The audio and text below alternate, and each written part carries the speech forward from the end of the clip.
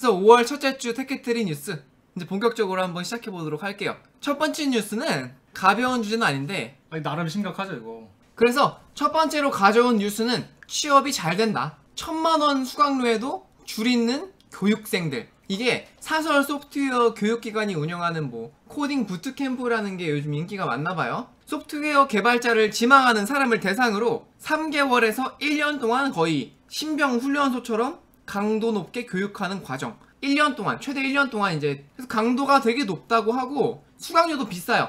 그런데도 이렇게 교육생이 몰리는 거는 직군이 밝다. 이 직군의 전망이 밝다. 라는 거죠. 특히 인공지능 빅데이터, 클라우드 가상현실, 증강현실 이런 분야에서 28,900명이 부족하다. 라는 뉴스가 있었어요. 그래서 이런 학원이 보통 어떤 사람들이 자주 갈까요? 글쎄요. 어떤 사람들을 위한 학, 학원일 수가 있을까요?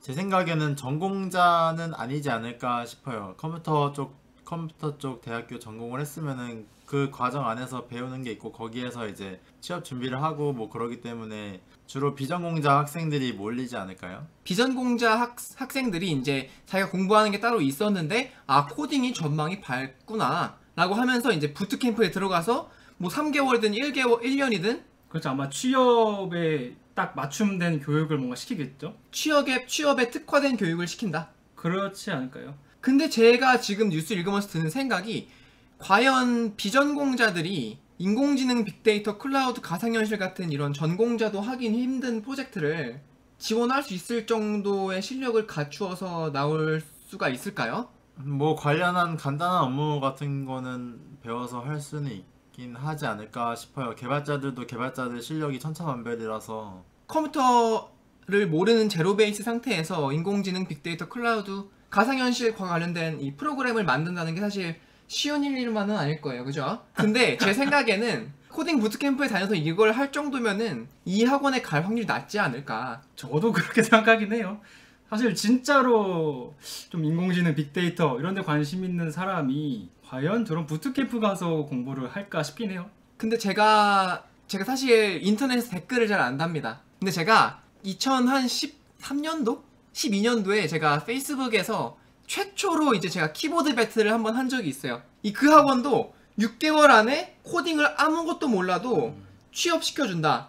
라는 좀 과대 광고? 과대 광고 비슷하게 해가지고 코딩을 아, 무도 아무것도 몰라도 100% 취업하게 해준다. 불과 3개월, 6개월, 1년 안에 100% 취업을 하게 해준다. 그래서 저는 댓글 달았습니다. 이게 어떻게 가능한 겁니까? 그러면은 3개월에서 6개월 안에 전공자보다 뛰어나게 회사를 갈 수 있을 정도의 실력을 만들어 준다던데. 그러면서 그 사람들이 은연중에 학교의 커리큘럼을 좀 무시하는 이야기를 좀 했어요. 맞아요. 그때 뭐 스- 스탠포드 커리큘럼은 잘못돼 있다. 뭐 왜, 그쵸. 예, 4년 동안 왜 컴퓨터를 그렇게 가르쳐야 하나? 6개월이나 뭐 1년 정도면 충분히 그 정도 실력이 나올 수 있는데 그런 명문대 4년 커리큘럼은 효율적이지 않다. 뭐 이런 얘기를 했던 것 같아요. 그쵸. 얘네들이 이제 3개월에서 1년이 가장 효율적이다라고 이제 이야기하는 와중에 이제 예제로 든 게, 그러면 제가 뭐 스탠포드나 하버드나 뭐 MIT나 그런 학교도 여전히 4학년, 4년제 이제 컴퓨터 공학 커리큘럼을 유지하고 있는데, 그 4년 동안 알려주는 쟤네들은 틀린 커리큘럼을 알려주는 것인가? 라고 하는데, 그렇다. 사실 MIT, 스탠포드, 하버드도 커리큘럼에 문제가 많다. 우리는 그거를 6개월 안에 줄일 수 있다. 이렇게 키보드 battle을 해가지고 저는 굉장히 그런 과대 광고하는 학원. 그게 어떻게 보면은 이 학원에 가는 사람들은 컴퓨터를 배웠거나 혹은 배우지 않아 않았는데 직업이 없어가지고 가장 직업을 위해 간절하게 이것저것 찾아보는 학생들일 거란 말이에요. 그래서 이 천만 원이라는 거금도 아 여기 가면은 직업을 얻을 수 있겠구나. 그 가장 이 desperate한 친구들한테 천만 원이라는 수강료를 받으면서 이런 학습을 제공하는데 사실 6개월, 3개월에서 6개월 안에 컴퓨터의 기본을 포함해서 아주 잘 짜여진 프로그램을 만드는데 제 생각엔 쉽지 않을 것 같거든요. 그쵸. 제가 느꼈던 거는 전공자라면은 이제 전공을 하면서 취업을 할 수 있고 비전공자여도 컴퓨터에 관심이 있, 있는 사람들은 주로 혼자 알아보고 혼자 공부를 해서 이제 실력을 키워 나가거든요. 근데 이렇게 학원을 갈 정도면은 어, 관심이 그렇게 있는지도 잘 모르겠고 취업을 해야 되는데 어느 쪽으로 가야 될까 졸업, 대학교 졸업을 하고 고민을 하다가 아 이쪽 컴퓨터 분야가 전망이 있다 해서 여기를 한번 공부를 해볼까 살짝 발을 담가 보는 사람들인데 제가 생각했을 땐 컴퓨터를 하려면 관심도 있어야 되고 이거를 잘할 수 있는 그런 좀 타고남 같은 게 있어야 된다고 생각을 하는데 뭐 그런 거를 불문하고 그냥 좀 취업에 좋은 곳에 하고 싶어 하는 그런 사람들이 이렇게 천만 원이라는 돈을까지 내가면서 할 정도로 그러니까 그렇게 간절한 사람이 하지 않을까 싶어요. 그래가지고 이 4년제 커리큘럼을 3개월에서 1년으로 축소를 한다는 건데 그러면은 기본적인 알고리즘이나 데이터 스트럭처, 자료 구조 같은 건 아마 간단히 배우거나 뛰어넘어서 그냥 실질적인 프로그램을 가르칠 확률이 높다고 저는 생각을 하는데 그런 자료 구조나 기본적인 알고리즘이 학습이 안 돼 있는 상태에서 인공지능 빅데이터, 가상현실 이런 프로젝트를 맡기에는 좀 힘들지 않을까? 그리고 이 학원에 이제 한 5, 60명이 입학을 하면은 결국 나오는 거는 한 2, 30명 정도라는데 졸업을 하는 사람들은 그 사람들이 사실 그 사람들을 채용하는 IT 회사에서 얘기를 잠깐 들어보면은 안 돼요. 아, 애가 이 학원 나왔구나. 왜냐면은 그 학원도 약간 기수가 있을 텐데 저도 들은 말인데 그 기수가 한 프로젝트가 음. 거기에 많은 인원이 참여해가지고 예를 들어 이 학원에서 20명이 졸업을 한다면은 그 20명인 전체다가 똑같은 혹은 비슷한 경력 사항을 작성을 하는 거 보고 아 이번 기수는 이거 했구나. 그러니까 채용하는 사람들 입장에서는 다 이력서가 똑같군요. 어느 정도 파악을 하고 있다고 저는 들었거든요. 또 가혹한 게 월 최대 천만 원을 낸다고 해- 한 다음에 2년간 월 소득 10%를 2년간 업체에 추가적으로 납부하는. 어... 이제 앞으로 취업을 했을 때 이제 월 소득 10%까지 이제 2년 동안 납부해야 되는 뭐 와. 그런 조건이 있는 학원도 있잖아요. 저건 좀 너무한 거 아닌가요? 야, 그러면 취업 못하면 환불해줘야 되는 거 아니에요? 그래. 뭐 아무튼 뭐 이런 소식이 있었어요. 그래서 아까 그 기사의 이제 연장 기사인데 일각에서는 부트캠프가 기본기를 익히는 데 이용하지만은 여기서 프로젝트도 진행해야 취업으로 연결될 수가 있다. 이런 얘기도 하는 것 같고 한 IT업계 관계자는 구인난이 있는 건 사실이에요. 근데 기업들이 높게 대우하는 인력은 기본기만 갖춘 개발자가 아니라 어려운 문제를 해결할 수 있는 고급 인재가 필요하다. 그렇죠. 저게 핵심이죠. 그래가지고 이 학원이 실질적으로 그 이 인재를 취업으로 시장으로 보- 내보낸 다음에 얼마나 그 산업에 도움이 될지는 아직 모르겠다. 약간 이런 뉴스를 처음으로 한번 가지고 와봤어요. 어떤 학원을 가더라도 과- 뭐100% 취업 이런 과대 광고를 사실 그거에 믿어가지고 나는 아무것도 안 해도 뭐 취업할 수 있겠지 약간 이런 마인드를 가지고 하면 안 되고 이런 학원을 가는 것도 좋아요. 어떻게 보면은 취업이랑 가장 가까운 방법이 될 수가 있잖아요. 뭐 어떤 교육을 받든 간에. 그럴 순 있죠. 근데 사실 내가 이제 고급 인력으로 대우를 받고 어딘가 가기에는 사실 이런 단기간에는 한계가 있을 수가 있으니까 학습을 조금 집중해서 하셔야 되겠다. 그러니까 맞아요. 이게 좀 뭐 쉽게 말할 수는 없는 거지만 각자의 사정이 있으니까 취업이 인생의 끝이 아니잖아요. 물론 지금 당장 취업하는 게 정말 중요하기도 하지만 좀 길게 보는 게 좋다고 생각을 합니다. 그래서 정말 컴퓨터를 공부해서 프로그래머로서 이 사회에 기여를 하고 싶다면은 좀 컴퓨터에 대한 기본이나 좀 그런 것도 확실히 탄탄해야 훨씬 더 쉽게 무언가를 만들 수 있다. 약간 이런 말씀을 드리고 싶습니다. 이제 IT 업계에서는 이제 개발자들의 수- 의 수요가 많다고 하는데 주로 거기에서 원하는 수요는 고급 개발자들이거든요. 근데 고급 개발자가 되기 위해서는 여- 이런 데서 학원을 다니더라도 다닌 후에 끊임없이 계속 프로젝트도 해보고 이런저런 인터넷 찾아가면서 뭐 배워 나가 나가야지 그렇게 그런 고급 개발자가 되지 않을까 싶어요. 맞아요. 사실 저는 이런 사업에 대해서 되게 긍정적인 입장은 아닌데 그래도 코딩에 사람들의 이제 관심이 늘어나고 있다는 것은 긍정적인 것 같아요. 그래서 첫 번째 뉴스로 이제 코딩 부트캠프와 관련된 뉴스를 한번 가지고 와봤고요. 4월 30일 뉴스예요. 얼마 안 됐죠. 아무튼 일주일이 안 된 그런 따끈따끈한 뉴스를 한번 가지고 와봤습니다. 세 번째 뉴스도 약간 좀 재미있는 가벼운 뉴스 가져와 봤습니다. 이거예요. 오늘부터 AI가 날씨 기사를 씁니다. AI가 날씨 뉴스, 날씨 기사를 초고를 작성을 합니다. 근데 그게 NC소프트의 인공지능 기술, 자연어 처리 기술을 이용합니다. 그래서 이 기술은 NC소프트와 연합뉴스, NC소프트와 연합뉴스가 이 플러스를 해가지고 이 둘을 만들었다. NC소프트의 인공지능 기술로 보도하는 곳은 연합뉴스가 해가지고 2020년 4월 28일부터 매일 하루에 3개씩 아침, 점심, 저녁으로 AI가 쓴 뉴스 기사를 우리가 읽을 수 있습니다. 그래서 뭐 3년간 작성한 날씨 기사를 학습했다 그러고요. 매일 새벽, 아침, 저녁 세 차례 뉴스를 쓰게 됩니다. AI가 뉴스를 쓰는데 어디까지 올라왔는지 한번 보여드릴게요. AI가 쓴 뉴스를 지금 같이 한번 읽어볼 거예요. 연합뉴스의 임성호 기자의 개인 페이지거든요. 근데 이분이 쓰신 뉴스가 쫙 있는데 내일 날씨, 날씨와 관련된 거는 다 AI가 쓴 겁니다. 이분 날씨 중에 한번 두 개 정도만 읽어볼까요? AI가 쓴 겁니다. 이 기사는 NC도 어. 맞죠? 이 기사 지금 AI가 쓴 거예요. AI가 어떻게 쓴지 한번 봅시다. 지금 날카로운 그, 어? 그 논문 읽어주는 심정으로 날카롭게 한번 읽어봅시다. 그 AI의 그 심경을 한번 저희가 따라가 보자고 아셨어요? 네. 일요일인 3일 전국이 흐리고 곳곳에 비가 내리겠다. 이게 어, 좀 말투가 좀좀 카카키한데요.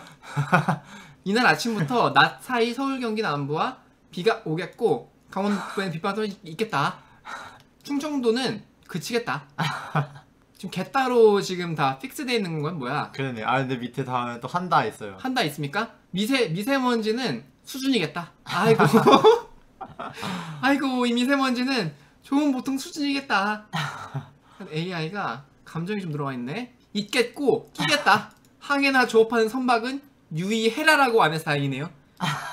유의해야 한다. 유의해야겠다. 딱. 바다의 물결은 뭘로 일겠다. 예상된다. 다음은 3일 지역별 날씨 전망. 어, 꽤나 뭐 정확한 자료를 바탕으로 꽤 가독성이 있긴 해요. 그래도 그죠? 그래서 이 기사는 NC의 기술인 NL 자연어 처리 기술로 작성이 됐다. 다음 뉴스 한번 볼게요. 어, 미세먼지 나쁨이네요. 사진도 이렇게 올려. 이거 사진 누가 한 걸까요? 어 설마 사진도 AI가? 어, 저는 사진만큼은 좀 직접 하신 것 같은데. 음. 그죠? 아까 데스크 거친다고 했잖아요. 어, 또, 또, 또 이러네. 겠다. 전국이 맑은 가운데 쌀쌀의 일교차가 크겠다. 그래서 뭔가 학습은 아. 됐는데 그 예의가 학습이 안 됐네. 아 그냥 일기 쓰듯이 스- 스스로 생각하는 거 아니야? 뭐뭐 하겠다. 어. 그지, 그지. 네. 아마 일교차가 크겠다. 어, 머릿속으로 생각하는 거죠. 일기 쓰듯이. 보통 크다라고 하면은 좀 확정 짓는 건데 AI의 특성상 이 확률로 나오다 보니까 크겠다라고 앞으로 좀 전망하는 좀 그런 말투가 좀 있는 것 같아요. 중간에 이런 기상청 얘기는 사람이 끼어든 거겠죠? 아니요. 저런- 사람이 저런 걸- 끼워넣기 시작하면 제 생각에 뉴스 그래요? 쉽게 안 나옵니다. 네, 저런 거 AI가 하지 않을까? 사실 뭐 그냥 온도, 뭐 날씨 이런 것만 알려주는 거면은 솔직히 굳이 AI가 막 뭐 들어가고 이러는 필요는 없는 거 아니에요. 근데 이게 이게 당분지 어떻게 알았지? 그러니까 기상청에서 저런 얘기를 했다는 것도 알아와야 되고 그러니까 기상청이 좋은 얘기 할 수 있고 나쁜 얘기 할 수 있잖아요. 근데 이게 나쁜 얘기인지도 알고 그걸 당부했다는 말로 바꿔 바꾼 거 보니까 그죠. 어 약간 자연어 처리 기술이 약간 이 센텐스의 특징도 좀 어느 정도 읽는 것 같아요. 뭐 인풋 값들이 뭔 뭐가 있는지 모르니까. 근데 좀 예의가 좀 없긴 한데 그래도 좀 꽤나 이 한 문장이 단순한 문장인데 조금 좋은 기능도 있구나. 약간 이런 걸 알려주는 것 같아요. 중부 내륙에는 떨어지는 곳이 많겠다. 농작물 냉해로 인한 냉해가 뭡니까? 몰라요. 이야 냉해가 뭡니까? 그 차가워서 농작물이 이제 상하는 걸 말하겠죠. 어... 아. 냉해로 인한 피해가 없도록 특히 주의해야 한다. 어, 와. 특히라는 단어는 어떻게 썼을까요? 강조도 하는데요. 그러게. 없도록 주의해야 한다는데 특히라고 한다면은 좀 AI가 러닝하는 과정에서 아 주의는 좀 특히론 특히라는 말을 좀 써줘야 강조가 되는구나. 약간 이런 걸 좀 학습을 한 것 같아요. 미세 농도는 예상된다. 다만 서울과 경기도는 오전에 일시적으로 나쁨 수준이겠다. 어 좋은 보통과 나쁨이 정의가 돼 있어가지고 다만이라는 그 중간에 들어가는 그 뭐라 그러죠? 그 뭐라 그러죠? exception? 아니 그 so, therefore 이런 거 뭐라 그러죠? 추임새. 추 그거는 아싸 뭐 이런 거고 얼쑤 뭐 이런 게 추임새고 접속? 아니. 접속사 접속사? 접속사? 다만이라고 쓸 수 있었던 이유는 나쁨과 보통은 다른 거기 때문에 다만이라는 것도 쓸 수가 있고 오 대기질병 대기질 통합 예보 센터도 reference 하고 일겠다 예상된다 어, 어. 이런 식으로 자연어 처리 기술로 어. 어, 퀄리티가 괜찮네요. 기네요 생각보다. 딱 간단 명료 이게 아니라 설명을 좀 해주네. 그죠? 그래서 꽤 그냥 보면은 꽤 괜찮아요 퀄리티가 오 국회의원 선거일도 알려주고 이야 좋네 이거 이것도 NC 그거 맞아요? 네. 근데 딱 이제 또딱 보이는 패턴들은 있어요, 그죠? 네. 아 근데 저는 이거를 NC에서 했다는 게 굉장히 좀 놀라운데요. AI 국내에서 좀 이제 잘 알려진 거는 뭐 네이버나 카카오나 그쪽에서 많이 연구하는 걸로 알고 있는데 갑자기 이제 NC가 NC 요번에 했다고. 사옥 옮기잖아요. 그 사옥에 그 뭐 기상을 측정하는 걸 설치하지 않을까. 어. 네, NC가 엄청나더라고요. 매출 수익이 카카오보다 훨씬 높아요. 그죠. 아 NC가 돈 굉장히 잘 벌더라고요. 리니지 덕분에 다. 어. 그쵸. 카카오 열심히 열심히 이것저것 만들어서 돈 벌고 있는데 아, 집행검 만들면은 막 건물 올리니까. 그쵸. 응. 아무튼 그래서 세 번째 뉴스로 아 이 기사 실제로 보려면요 그냥 연합뉴스 임성호 기자라고 치면은 이분이 쓴 뉴스가 쫙 나옵니다 그래서 아마 그 제가 잠깐 조사해 본 건데 이 AI 뉴스는 이분을 통해서 나오는 게 많더라고요 그래가지고 이분 검색해 보니까 꽤나 뉴스, 뉴스들이 많이 있었더라 저희가 이제 세 번째로 준비한 뉴스는 이제 AI가 NC소프트에서 이제 자연어 처리 기술을 이용한 AI가 매일 우리한테 이제 날씨를 보도해주기 시작했다. 그리고 가독성이 그렇게 나쁘지 않다. 다만 그 좀 이제 예의가 좀 없다. 그 정도. 그런 뉴스 준비해봤습니다. 예의는 학습이 안 됐다. 예의 그, 그 유교 사상은 학습이 안 됐다.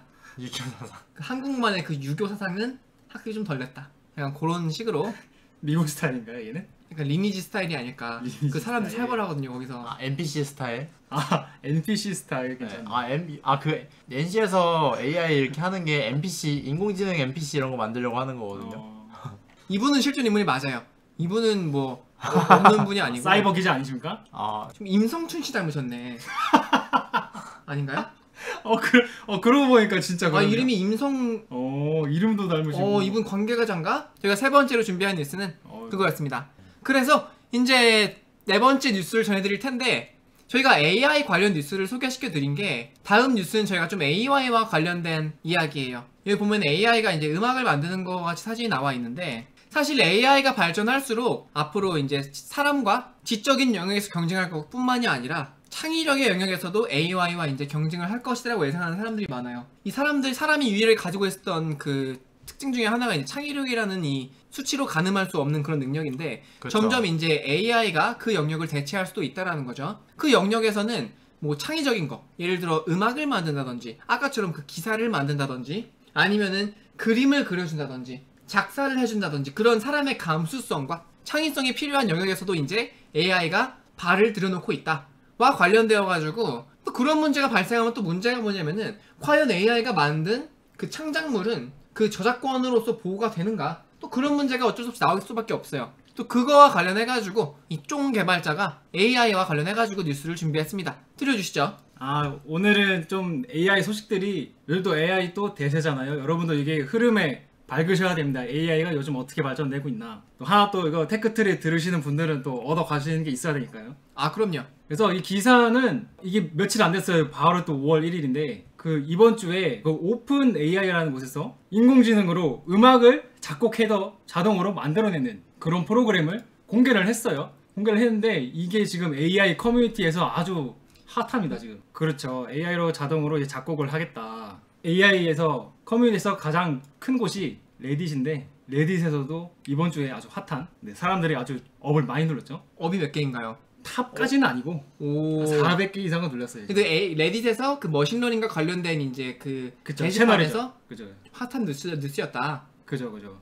이 오픈 AI 그룹에 대해서 잠깐 간략하게 설명을 드리면은 샌프란시스코가 미국 샌프란시스코에 있는 비영리 AI 연구 단체입니다. 돈을 위해서 일하는 회사가 아니다. 그렇죠. 돈을 안 받고 그 스폰서는 있죠. 도- 아무래도 돈 없이 사람들이 일할 수는 없으니까 그 중에 제일 메이저가 아마 마이크로소프트인 것 같아요. 음. 거기서 지원을 해주고 이게 아마 AI 공부하시는 분들은 다 아실 텐데 뭐 일반인 분들도 조금 알만한 것이 요거 이제 AI 하면은 보통 요런 게임들 학습시키는 거 많이들 영상 한 번씩 보셨을 거예요. 아 그럼요. 이제 요거 이제 학습 환경 이게 제공해 주는 데가 바로 오픈 AI예요. 어, 오픈AI에 들어가면 이런 게임들을 이제 emulate 해놓고 AI 기법을 내가 실험을 해볼 수 있다. 그렇죠. 이거 오픈 소스라서 이것도 소스를 어. 받아가지고 아마 진짜 실제로 AI로 공부를 해보고 싶다 해서 하게 되면은 이거 한 번씩 다 하시게 될 거예요 아마. 아. 예제로 첫, 첫 번째 막 tutorial 같은 걸로 어. 어떻게 보면은 AI계 hello world 같은 거죠. 어. 그래서 오픈 AI Gym 이거 다 import 해가지고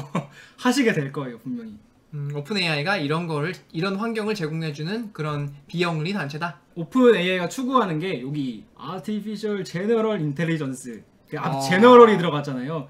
한국말로 하면 일반 인공지능인데 어, 어, 원래 AI라는 게 Artificial Intelligence 해가지고 AI인데 중간에 G가 들어갔네요. 그죠. 이게 뭐 얘기하는 거냐면은 쉽게 말해서 사람 수준의 인공지능을 얘기하는 거예요. 그러니까 보통 지금 인, 인공지능은 바둑이면 바둑, 뭐 그림 만드는 그러면 딱 한정이 돼 있잖아요. 근데 사람은 뭐 바둑도 둘 수 있고 그림도 그릴 수 있고 다 그렇잖아요. 그런 걸 모든 걸 할 수 있는 AI 개발을 목표로 하는 한다. 그걸 Artificial General Intelligence라고 한다. 그렇죠. 그렇죠. 어, 좋네요. AGI. 그래서 줄여서 AGI죠. 이게 이분들 이제 팀 사진인데 이야, 좋은 데로 가셨네. 여기 어디 뭐 동명가요? 아무래도 샌프란시스코겠죠? 어, 서울은 아니고. 그렇죠. 음, 어, 날씨 좋아 보이죠? 이게 딱 보면은 가평이 예. 아니고. 음, 야 이거 딱 봐도 이 뭔가 기한 기운이 느껴지지 않아요? 이거? 여기 쫑 닮은 사람 있네요. 그런 말 하지 마세요. 여기 쫑 아니에요, 쫑? 들어가 보도록 할게요. 왜 밑줄을 쳐서 왜 그어놨어 목을? 이 보시면은 이게 머리 긴 야. 남성분들이 많으세요. 좀 전형적인 좀 컴퓨터 공학과가 어디 놀러 갔을 때 그죠, 그죠. 이런 그림이 아닐까. 이야. 아니 하나같이 제가 컴공이라 그런지 컴공을 보면은 아 이 사람 컴공이구나 그런 기운이 있거든요. 근데 너무 잘 느껴지지 않나요? 제가 이거 간다면 아주 잘 녹을 것 같아요. 제가 이, 이 단체에 여기- 아주 잘 녹여들 수 있지 않을까. 여기선 인싸죠 저희도. 이런 분들. 그렇지 마. 뭐 하시는 거예요 아, 지금? 왜요, 왜요? 왜 왜 하신 거예요? 아, 컴공 남 컴공 할 것 같이 생기신 분들. 그런 말 하지 마. 왜 왜 동그라미를 쳐가면서 그렇게 하세요? 미래 컴공 주니어도 계시고. 저희가 아주 잘 녹아들 수 있는 그런 단체로 느껴지네요. 아 그럼요. 멋있네요. 자 그래서 자, 실제로 한번 들어가 봅시다. 어, 이제 자 요게 이제 공식 사이트예요. 그래서 이름이 주크박스인데 여기 샘플들이 있는데 그래서 옛날 거랑 좀 비교해 보기 위해서 어. 요게 제가 찾아봤는데 어, AI 작곡해주는 프로그램 중에서는 그래도 좀 탑이라고 요즘 쓰이고 있는 상업적으로 이 엠퍼라는 단체는 오픈 AI가 만든 건, 아, 오픈 AI가 아니고. 만든 건 아닌데, 원래 기존에 이제 AI가 음악을 작곡을 한다면은 가장 잘 팔리고 가장 인기가 많았던 게 엠퍼다. 그쵸 지금 쓰이고 있는 그러니까 엠퍼를 비하할 의도는 없습니다만 음, 그러니까 요즘 요 정도 수준이다 한번 틀어볼게요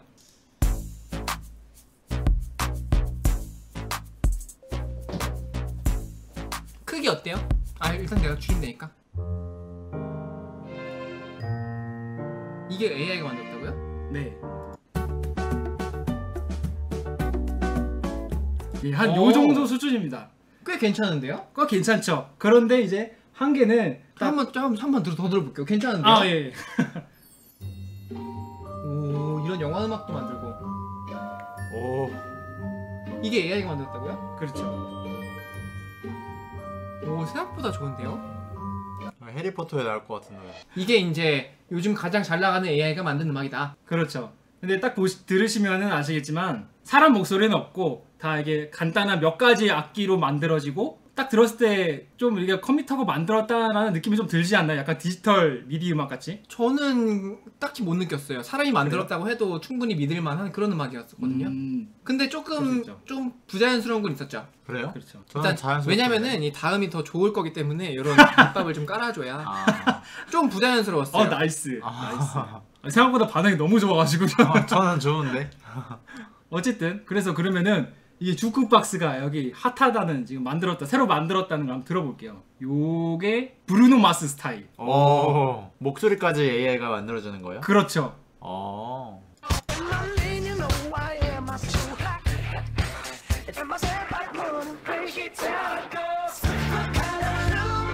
Lane,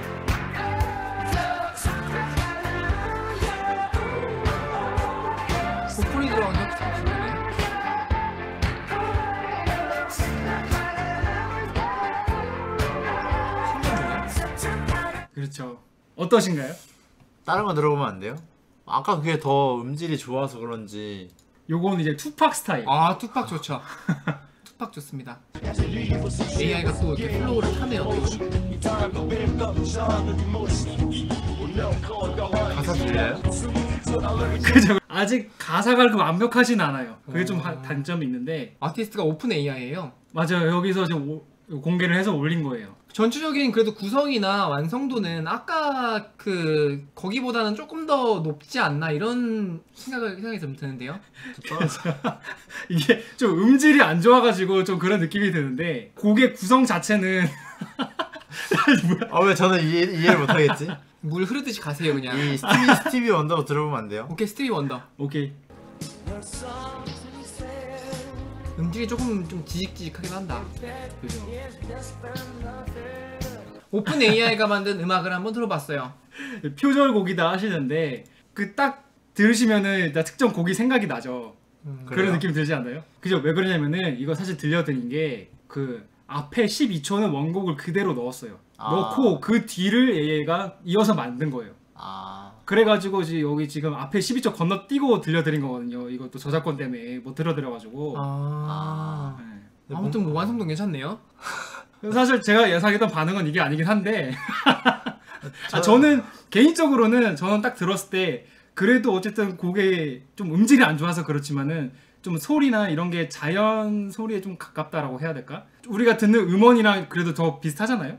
전 목소리까지 AI가 해준다 이게 좀 충격적인데 완성도적인 측면에서는 이전 게 좀 더 나은 것 같아요. 그래서 아직까지는 좀 저 이전 게 좀 더 듣기가 이게 어떻게 구현된 건지 알면 조금 더 이해가 가긴 하는데 궁금하신가요? 네 궁금해요. 그러면 딱 한 2분 컷으로 빠르게 진행을 해볼게요. 거기서 얘기를 하는 게 기존 것들은 들으셨다시피 그러니까 피아노와 같은 이게 악기 개별 악기를 중심으로 그 악기의 뭐 타이밍이나 이게 음 높낮이나 속도 그런 것들을 고려해서 악기별로 구현을 하고 그걸 합치는 방식이었어요. 그렇기 때문에 좀 이렇게 깔끔할 수 있죠. 그런데 아. 우리는 그러니까 새로운 방식을 도입했는데 그냥 raw audio를 direct 바로 그냥 학습을 시킨다는 거죠. 그래서 사람의 목소리나 뭐 가사나 이런 것까지 가능했던 거래요. 어. 약간 그거 생각나요 갑자기. 트랜스포머의 범블비가 노래로 말을 하잖아요. 아, 아, 아. 아, 그런 느낌인가요? 그렇지 마세요. 지금 2분 컷에 끝내야 돼요 지금. 아, 어. 그러니까 이런 오디오 파일이 있으면은 요거를 뭔가 섹션을 구분을 해가 나눠서 얘를 학습시킨 다음에 재구성을 하고 걔를 합치는 방식인 거죠. 요렇게 진행을 했다. 그렇게 해가지고 120만 곡을 학습을 시켰다. 그 중에 60만 곡은 영어로 된 가사가 있는 곡이다. 그리고 학습을 시킬 때 아티스트하고 장르를 구분을 해가지고 이렇게 뭐 레게, R&B, 힙합, 뭐 팝 구분을 시키고요. 거기 각각 장르에 있는 이제 아티스트들도 따로 구분을 시켜서 학습을 더 쉽게 했다. 그리고 가사 부분이 진짜 재밌어요. 가사가 또 어떻게 보면 핵심인데 생각보다 너무 간단하더라고요. 여기서 얘기를 하는 게 그러니까 리니얼리하게 그냥 스팬했다. 이게 무슨 말이냐면은 예를 들어서 원곡이 이렇게 있잖아요. 원곡이 이렇게 있을 때 예를 들어서 뭐 요게 가사였다고 쳐봐요. 그럼 얘를 그냥 곡 처음부터 끝까지 요렇게 그냥 늘린 거예요. 그냥 늘려가지고 뭐 요 가사는 여기에 있을 거다. 요 가사는 여기 있을 거다. 아, 이렇게 했대요. 그냥 그랬는데 늘어져야 되는 거 아닌가요 목소리가? 아 근데 요거는 이제 어 가사는 텍스트로 있잖아요. 그거를 그 텍스트가 음원의 어디 부분에서 나오느냐 그거 매칭시키는 과정이에요. 곡 처음부터 끝까지 그냥 이제 늘려가지고 fit하게 그냥 맞춘 거죠. 근데 그 방법이 이 surprisingly 잘 동작을 했다. 이게 뭐 어. 힙합 같은 가사가 뭐 빠른 이런 곡 아니고서는 이게 효과가 되게 좋더라. 근데 우리가 알아들을 수 없는 가사인 거잖아요. 그래서 가사가 좀 정확하진 않아요. 그러니까 의미가 있는 것도 있는데 조금 이게 사람이 들었을 때 이해하기 힘든 그런 것도 있더라고요. 그래서 아까 아까 막 브루노마스 같은 것도 그냥 무 할레루야만 계속 나오고 그러니까 이런 식인 거죠. 그래서 얘가 그거를 한계점으로 지적 마지막에 남겨두긴 했어요. 우리가 좀 더 자연스러운 곡을 만들긴 했지만 아무래도 어 우리가 보통 생각하는 의미의 작곡이랑은 좀 거리가 아직 멀다. 곡이라고 하면은 좀 도입부도 있고 뭔가 클라이막스도 있고 약간 중간에 변주도 있다거나 뭐 이런 식으로 진행이 되는데 여기서는 좀 같은 비슷한 부분이 좀 반복이 되거나 가사도 아직 완성 근데 가사를 왜 넣으려 그러지? 어쨌든 그것까지 할 수 있어야 또 완벽한 인공지능이니까요. 음 아예 그냥 데뷔시키려 하는구나 가수 하나를 그렇죠. AI가. 진정한 의미의 사이버 가수가 나올 수도 있겠죠. 그러면. 그니까요. 그렇죠. 어쨌든 그래서 뭐 그런 내용이었고 요거는 오픈 AI니까 이것도 open source예요. 코드가 있어요. 여러분들도 다운받아서 써보실 수 있는데 어. 알고리즘은 있지만 120만 곡의 곡은 알아서 구해야 된다는 거. 학습시킬 곡은 알아서 구하셔야 된다는 거. 아 뭐야? 야, 그래서 아까 AI가 만든 기사도 그랬지만 과연 이런 AI가 만 AI가 만든 이 음악은 또 저작권이 진짜 어떻게 될까? 과연 이게 유튜브에서 이렇게. 틀어도 되는가? 또 이런 생각을 하다 보니까 말씀하셨듯이 저작권에 대한 문제가 또 있잖아요. 아주 핫한 문제죠. 저 거기에 대해서 뭐 조금 알아는 봤는데 결론부터 말하면 아직 세계에서 법으로 명시한 국가는 없다. 아직 법이 확실히 제정된 국가는 없다. 법을 제정하기 위해서 세계가 열심히 논의 중이다. 그 법이라는 게 이제 AI가 만든 창작물에 대해서도 이제 저작권 보호법이 적용이 될지 안 될지는 아직 연구 중이나 실행하고 있는 나라는 없다. 그렇죠. 이런 말씀이신가요? 그래서 그 논의의 일환으로 우리나라에서도 작년에 11월에 얼마 안 됐어요. 서울 뭐 저작권 포럼이 열렸어요. 여기에서 뭐 영국, 미국에서 다양한 곳에서 오셨더라고요. 그래서 읽어보니까 영국 같은 경우에는 AI 청을 따로 만들었다고 해요. 그래서 AI에 대한 아, 저작권이나 그죠 그런 거를 전담을 해가지고 저 미국도 저작권은 아직까지는 기업이나 법인에게 좀 소속되는 경향이 있어요. 이게 모든 그러니까 대부분 모든은 아니고 대부분의 국가가 아직 이 상태인데 저작권법이라는 게 사람에게 국한되는 권리라서 맞아요. 이게 유명한 사례가 있는데 원숭이가 찍은 셀카가 있어요. 그거를 이제 저작권을 인정을 안 한 사례가 있어요. 원숭이의 저작물이다라고 인정을 안 했다. 사람이 그- 아니니까. 그렇죠. 그거를 이제 잠, 잠깐 얘기를 드리면은 요 원숭이에요. 요거 얘인데 자기가 찍었어요 셀카? 네, 이거를 한 사진 기자가 카메라에 설치해두고 이제 간 거예요. 아. 지켜보는데 그 원숭이가 와가지고 알아서 그 누른 거야 카메라를. 어 스마일하고 찍었네. 그죠? 귀엽죠? 동물이 찍은 최초의 셀카다라고 또 유명해지고 어. 이게 닉네임이 어떻게 붙었냐면은 이게 나루토 원숭이라고 붙었다 그래요. 이게 뭐 닮았다고 그러나 봐요. 좀 닮았나요? 그래가지고 이 기자가 이거를 위로화 해가지고 팔라고 했는데 그게 이제 소송이 들어가지고 이제 법원까지 가게 된 거죠. 근데 이제 미국에서 찍은 주체가 이게 원숭이가 찍었잖아요. 그래서 사람이 아니라서 이건 인정할 수가 없다. 그래서 기자 것도 아니고 원숭이 것도 아니고 이건 약간 공용의 공공재로 분류가 사례가 있어요. 아 그럼 못 파는 거예요 공짜로? 아 그러니까 돈돈 그렇죠. 돈못 받는 거죠. 이거 그냥 내가 찍었다 이렇게 하면 안 돼요? 근데 이 사- 원숭이가 찍은 걸로 이미 유명세가 탔으니까요. 어, 근데 아 그것 때문에 인기를 얻은 거라서 왜냐면 지금 법은 인간이 자기의 감정을 담아서 창의성을 가미해서 만든 창작물이야 그 저작권 보호법 아래 있, 있을 수가 있는데 일단 인간이 만든부터가 일단 아니잖아요. 음, 그러니까 아예 보호를 받을 수가 없는 거죠. 누구나 다 저 사진을 공짜로 써도 뭐라고 할 만한 그게 없는 거죠.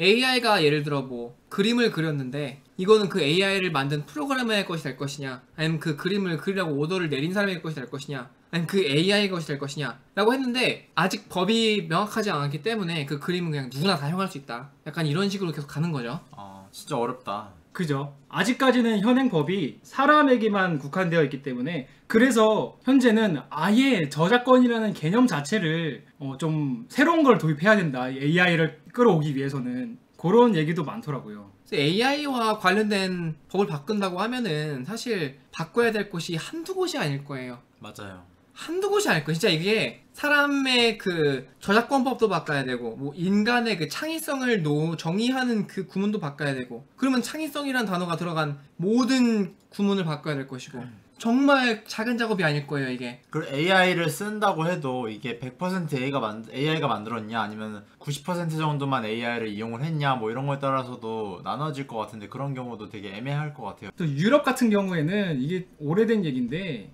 2017년도에 AI한테 전자인간이라고 따로 지위를 또 부여해가지고 이 법을 만들자라는 결의안이 통과가 된 거예요. 이게 17년도 1월 얘기인데 아직까지도 이게 결정 안 나고 계속 얘기 중이라고 합니다. 그리고 우리나라 같은 경우에는 이것도 최근에 바로 또 이번 주에 나왔던 기사인데 내년까지 이 저작물에 대한 법을 만들겠다. 이거 쉽지 않을 거예요. 이거 제 생각에 그죠? 못할 가능성이 80% 넘습니다.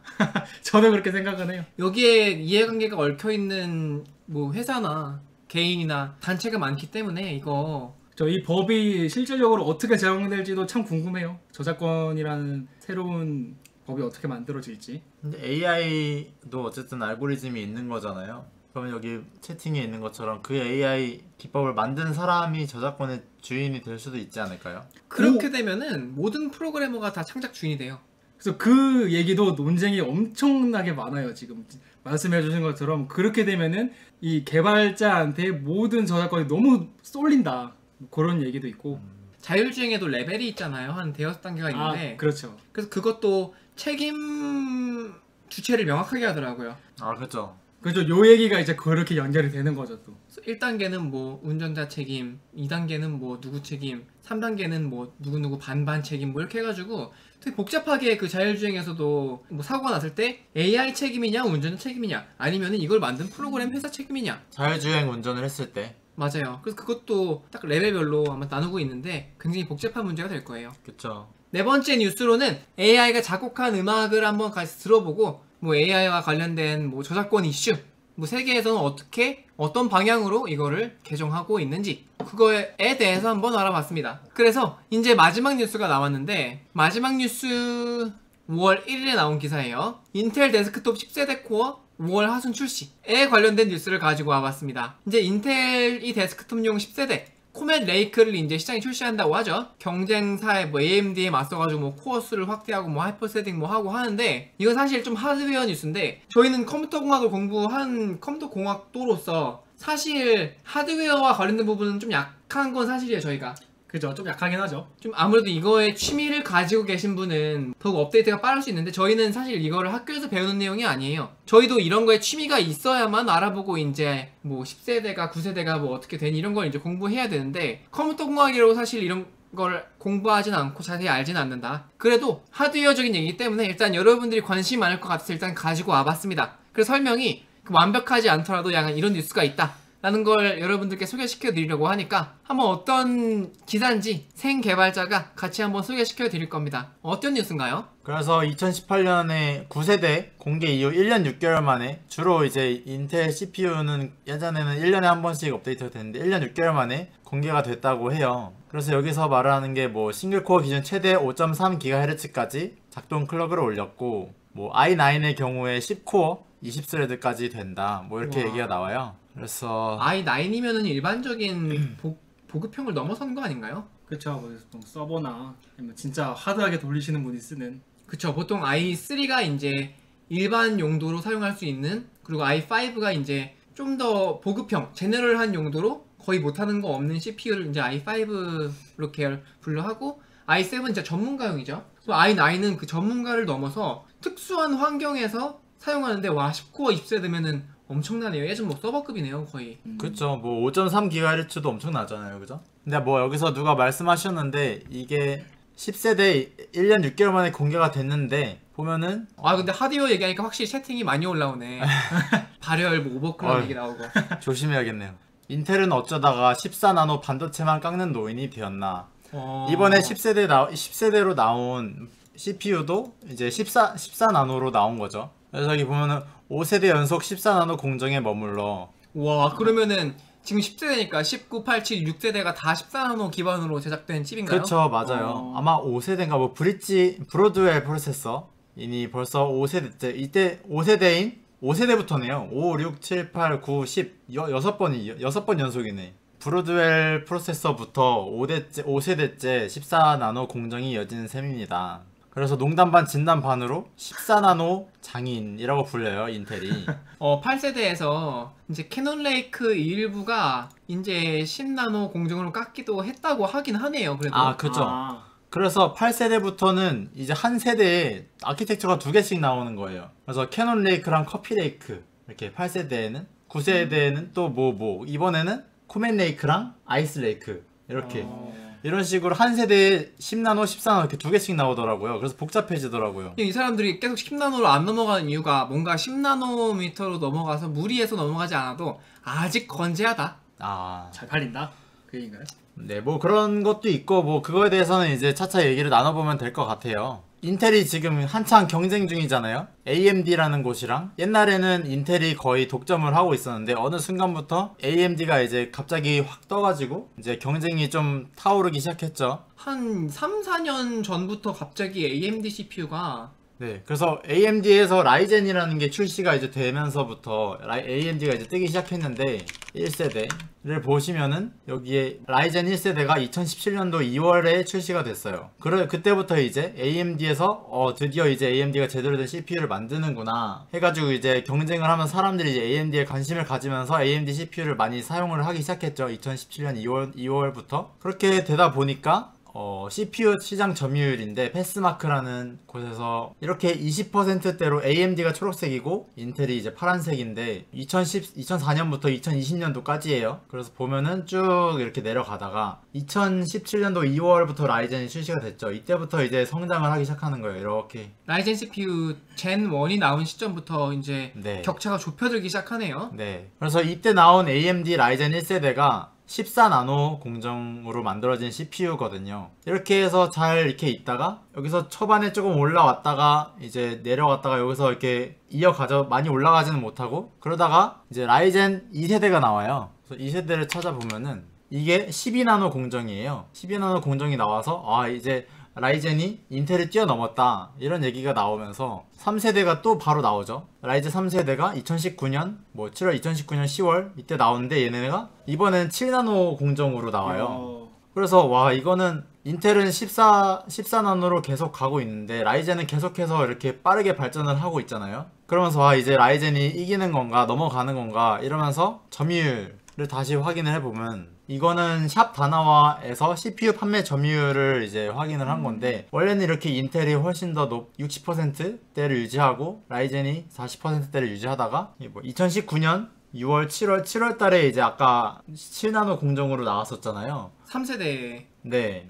젠2 얘기하는 것 같은데요. 뭐 7, 7나노 공정의 CPU가 2019년 7월에 나오고부터 7월 달부터 이제 갑자기 확 오르죠. 49% 이렇게 쭉 가다가 빨간색이 AMD죠. 예, 7월 달부터 51%로 인테, 인텔을 뛰어넘었어요. 판매율이. 그 10월, 12월 달 작년 12월만 보면은 AMD가 56%까지 이렇게 올랐죠. 어, 그래서 초반에 이제 2017년도부터 이제 AMD가 본격적으로 이제 CPU 시장에 인텔과 싸워보겠다고 문을 두드렸어요. 그죠? 네. 근데 그때가 이제 젠 1 때였는데 반응이 괜찮았어요. AMD가 이제 인텔과 이렇게 빡세게 경, 인텔이 워낙 예전부터 CPU 자리에서는 세계 넘버원을 지키고 있었기 때문에 맞아요. 그러고 있었는데 이제 좀 안주하고 있었던 느낌이 나요. 그래서 2017년도에 이제 AMD가 젠 1으로 CPU를 냈는데 스펙이 비슷해요. 음. 비슷하거나 좋은데 가격이 더 싸죠. 어, 더 훨씬 싸죠. 어, 사람들이 어 이거 맞아? 이거 이거 잘 돌아가 해서 사람들이 많이 사봤는데 초반에는 뭐 호환성과 관련된 이슈가 조금 있었어요. 근데 그것도 빨리빨리 개선이 돼가지고 이제 젠2부터 갑자기 원 플러스에 갑자기 14나노에서 12나노로 줄어듭니다. 근데 여전히 인텔은 14나노였어요.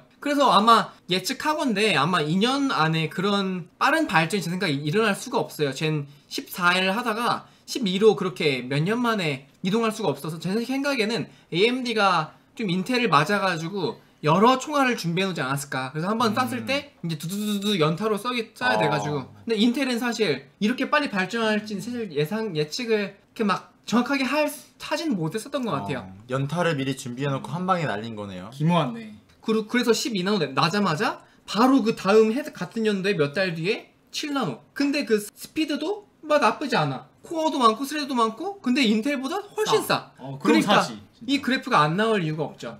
음. 사실 인텔은 우리는 여- 영원히 1인자로서 그 가격을 유지하면서 했는데 사실 AMD 너무 급하게 따라오니까 점유율이 이게 샵, 샵 다나와에서만큼은 뭐 전체적인 점유율은 모르겠지만 네. 우리나라에서만큼은 2019년 7월 기점으로 점유율이 역전이 되었다. AMD가 이제 더 많이 판매가 된다. 이런 식으로 역전이 된 것 같아요. 사실 이게 조립 조립 PC 판매거든요. 그래가지고 뭐 노트북하고 뭐 일반인들이 사는 그런 컴퓨터 다 합치면은 시- 인텔이 아직도 점유율이 높기는 한데 그래서 인텔이 이제 당황을 하죠. 당황을 해서 아 큰일 났다. 우리도 이제 나노 공정을 좀 더 낮춰야 되는데 어떻게 해야 되나 이렇게 사람들도 많이 기대를 하겠죠. 아, 인텔은 AMD는 이렇게 14에서 12, 7까지 금방 금방 내려가는데 인텔은 지금 뭐 하고 있나 이렇게 음. 계속 기대를 하고 있을 거 아니에요. 뭔가 그래가지고- 있겠지 하고 음. 생각을 하겠지.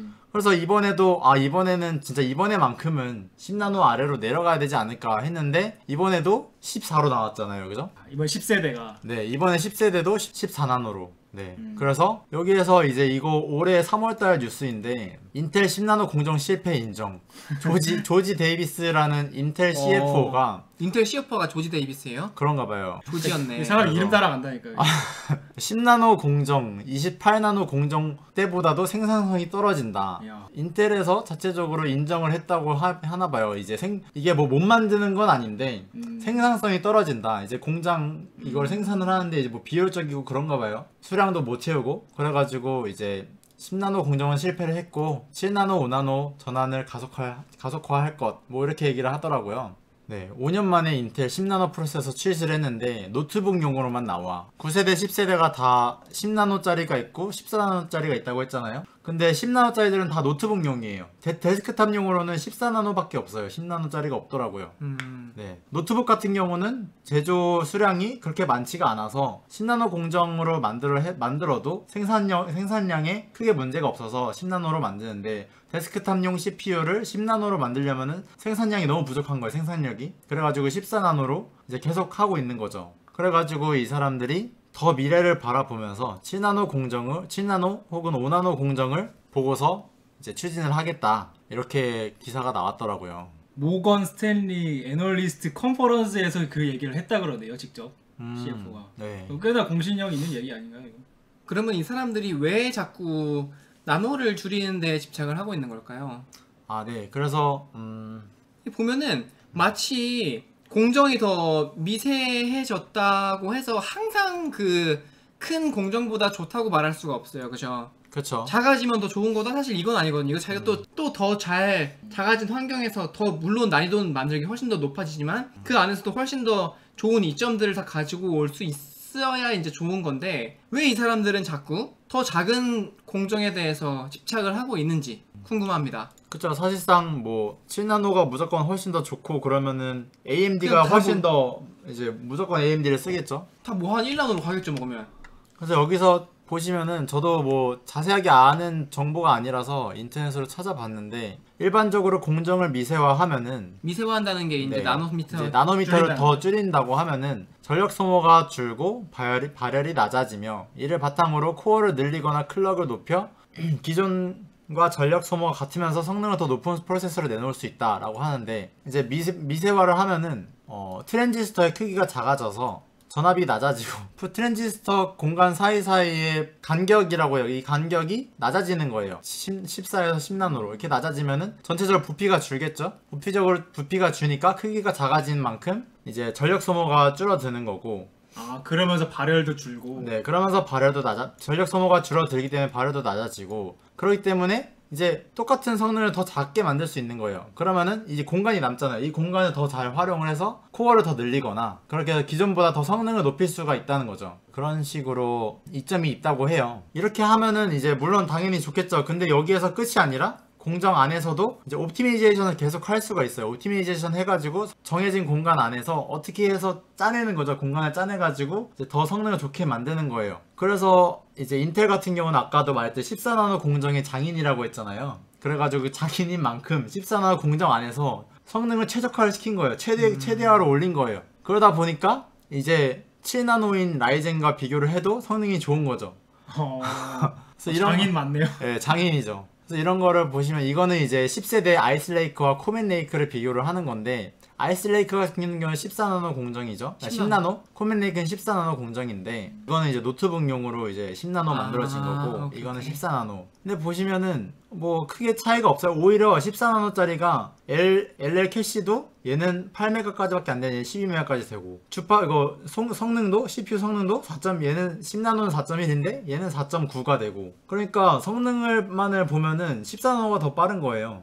저 아직 음, 그 네. 인텔의 10나노 기술이 완벽하지 않기 때문에 네. 그래서 네. 가장 효율적으로 줄여봤는데 이거까지밖에 못하겠더라. 음. 여기서 더 하려면은 이제 엄청난 비용이 또 추가적으로 들어가기 때문에 아마 여기서 멈춘 것 같긴 해요. 10나노가 뭐 포텐셜은 훨씬 더 있겠죠. 성능을 더 빠르게 더 빠르게 만들. 근데 아직까지는 이제 14나노 공정의 장인인 인텔이 14나노 공정의 CPU가 아직까지는 성능이 더 빠른 걸로 나타나는 것 같아요. 어, 음. 그래서 인텔 애들이 무언가 발표할 때마다 5세대 동안 계속 14나노라고 했잖아요. 네. 그래서 5세대 전에 뭐 우리는 이번에 14나노다. 다음에는 우리 건 14나노 플러스다.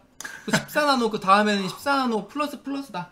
해가지고 지금 플러스가 한, 한 10개 정도 붙어 있는 걸로 맞아요. 14나노 10 플러스 음. 이렇게 해가지고 아니 뭐 이것저것 좀 준비를 하긴 했었는데 아, 사실 많이, 네. 저희가 조사하려고 했던 범위는 되게 넓은데 하드웨어 전문가가 아니다 보니까 저희 다 소프트웨어 전문가다 보니까 근데 최대한 그 안정된 상태에서 확실한 정보만 전달을 해야 되기 때문에 그래서 지금 상황이 지금 처음에 이제 AMD가 본격적으로 이제 CPU 경쟁에 뛰어들면서 인텔은 처음에 좀 무시하는 자세를 취했는데 AMD의 상승세가 이제 가파른 거죠. 그래서 어 얘네 우리가 안 되겠는데 해서 이제 원래 인텔이 1년에 한 세대만 발표했어요. 근데 갑자기 AMD가 나오니까 갑자기 막 9세대가 막 어? 커피레이크 9.5세대가 나오고 그니까요. 아이스 레이크가 나오고 캐논 레이크가 나오지 뭐또 코넨 레이크, 코멧 레이크가 나온다는데 갑자기 무슨 레이크 레이크를 엄청나게 보내줍니다. AMD가 나오니까 불안해진 거죠. 그래서 AMD는 준비라도 한 듯, 어? 14나노, 12나노, 7나노 원투펀치로 시장을 지금 반전을 꾀하고 있다. 그 중에 이제 인텔은 10나노는 아마 패배를 인정을 한 듯 보이고요. 이제 앞으로 7나노, 5나노에서 이제 본격적으로 제대로 된 승부를 하겠다. 지금은 AMD의 기술력이 조금 더 뛰어나다라고 인정을 했습니다. 근데 이게 좋은 게 뭐냐면은 또 이게 시장 경제 장점인데 또 경쟁업체가 태어나면은